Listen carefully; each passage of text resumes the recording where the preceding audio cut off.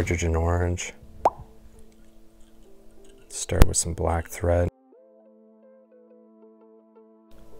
Strip off a little bit of the fuzzies. We're gonna put that right up against. We're just gonna tie that in.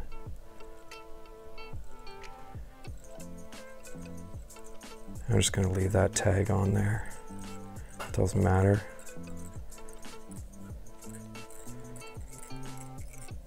Keeping that as smooth as possible. Even though the chenille actually makes it so you don't even have to have a really smooth body, but that's okay. It will show up if there's bumps. And now you just want to wrap this around. You can use um, some gold wire as well. You could tie that in when you tie in the chenille. I do that sometimes. It's not essential. You don't need to do it every time. Now, um, sometimes with this chenille, I'll use hackle pliers or I'll do what I do with my um, pheasant tails and I'll just put my index finger and hold it while I wrap it around. And if I'm not filming most of the time, that's how I do it because it's just faster for me. And of course, right now it's not as fast, but that's the joys of being on camera now, isn't it? Okay, twice around, sometimes once around, and then a two jamming wraps, sometimes three. We're just gonna cut that right up there. There it is. this is almost done. Now, all we're gonna do is we're gonna take our hackle, strip off all the fuzzies off the bottom of the hackle,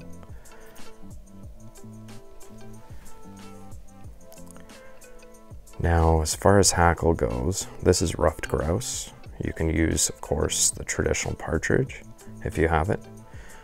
Around my neck of the woods, people call ruffed grouse partridge. and it's got really cool speckling. Depending on where you get them and what phase they're in, they could have some wildly different colors. Sometimes they're in copper phase or gray phase, brown phase, whatever you want to call it. And sometimes I actually prefer to have really long hackle on this. And the reason why, I feel like it's like a little tiny brook trout uh, fry or something, some kind of, or imitation bait fish. And I'm just gonna push that in. Sometimes you can leave the tag on there. I honestly, because this tag is so small, it's not even gonna be a problem, but we'll, we'll clean it up.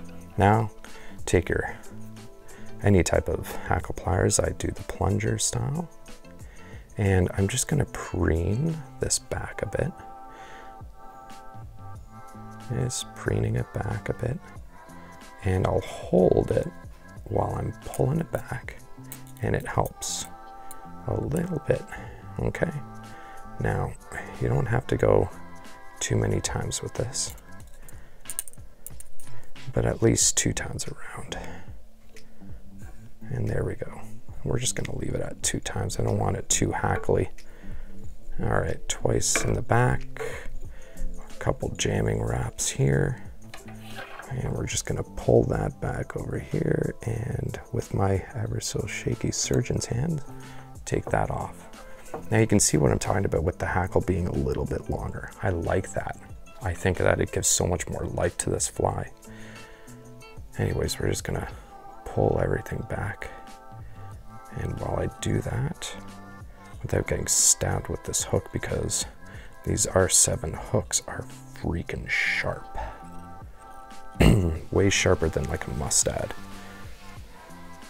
Okay, now we're gonna do a whip finish. There, just a four turn whip finish.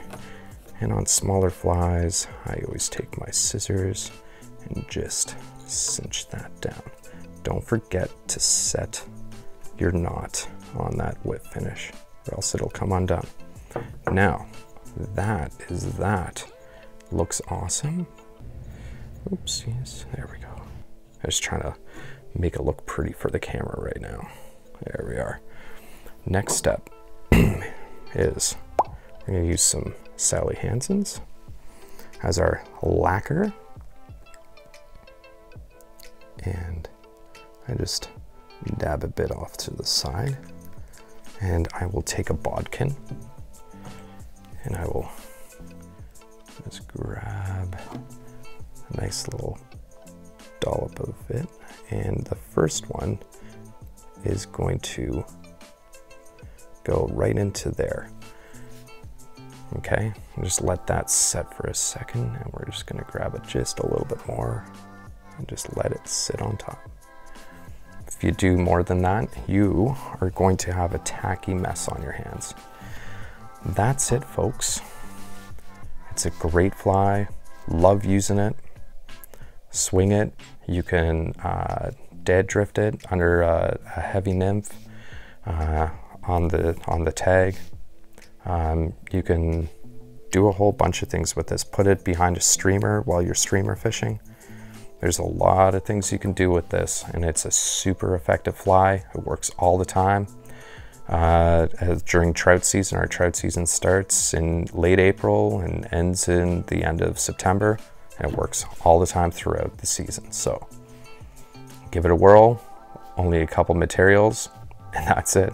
Super effective. Hope you try it out. Have a good day.